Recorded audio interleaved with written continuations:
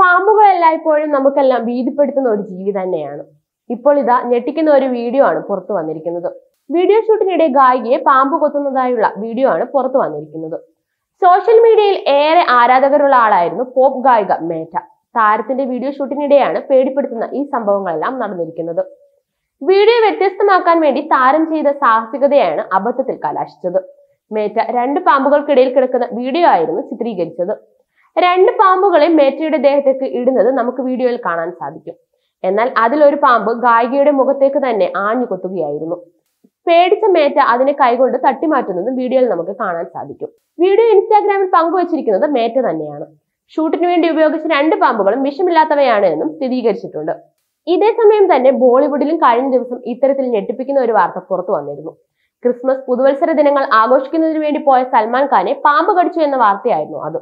ദേശീയ മാധ്യമങ്ങളായിരുന്നു ഇതേക്കുറിച്ച് റിപ്പോർട്ട് ചെയ്തിരുന്നത്. പൻവേലിലെ നടന്റെ ഫാം ഹൗസിൽ വെച്ചായിരുന്നു താരത്തിന് പാമ്പ് കടിയേറ്റത്. ഉടൻ തന്നെ താരത്തിനെ മുംബൈയിലെ സ്വകാര്യ ആശുപത്രിയിൽ എത്തിക്കുകയും പ്രാഥമിക ചികിത്സ നൽകി വിട്ടയക്കുകയും ചെയ്തിരുന്നു. വിഷമില്ലാത്ത പാമ്പാണ് സൽമാൻ ഖാനെയും കടിച്ചതെന്നായിരുന്നു ആശുപത്രി വൃത്തങ്ങൾ അറിയിച്ചത്. താരത്തിന് പാമ്പ് കടിയേറ്റു എന്ന വാർത്ത പുറത്തു വന്നതോടുകൂടി സൽമാൻ ഖാന്റെ ആരാധകരും പരിഭ്രാന്തരായിരുന്നു.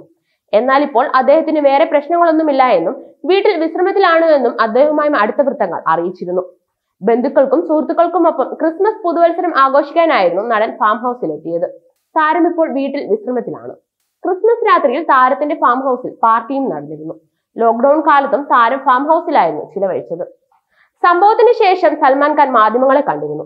ഈ വാർത്തകളും വളരെ ശ്രദ്ധേയമായി മാറിയിരുന്നു. പനവേലിലെ ഫാം ഹൗസ് കാടിന്റെ അടുത്താണുള്ളത്. ഫാം ഹൗസിലെ റൂമിൽ കയറിയ പാമ്പിനെ കണ്ട് കുട്ടികൾ പേടിച്ചിരുന്നു. നീളമുള്ള വടി കൊണ്ടുവരാൻ ഞാനാണ് അവരോട് പറഞ്ഞത്. ആ വടി കൊണ്ട് പാമ്പിനെ വളരെ സ്നേഹത്തോടെ എടുത്ത ഞാൻ അതിനെ കാട്ടിലേക്ക് പറഞ്ഞയക്കാനായിരുന്നു കൊണ്ടുപോയിരുന്നത്. എന്നാൽ വഴിക്ക് വെച്ച് പാമ്പ് വടിയിൽ നിന്ന് മാറി മുകളിലേക്ക് കയറാൻ തുടങ്ങി. അപ്പോഴേക്കും വടി ഉപേക്ഷിച്ച് പാമ്പിനെ ഞാൻ കൈകൊണ്ടെടുത്തു. അപ്പോഴാണ് എനിക്ക് ആദ്യത്തെ കടിയേറ്റത്.